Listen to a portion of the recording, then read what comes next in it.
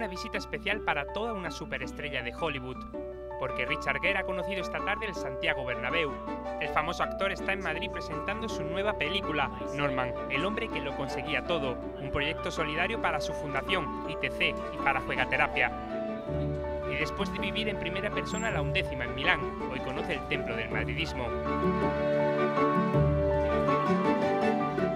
Vestuario de los jugadores, donde se cambian todas las estrellas como él. Santiago Bernabéu, un lugar único en el mundo, también para Richard Gere. Ese estadio que no puede dejar de contemplar.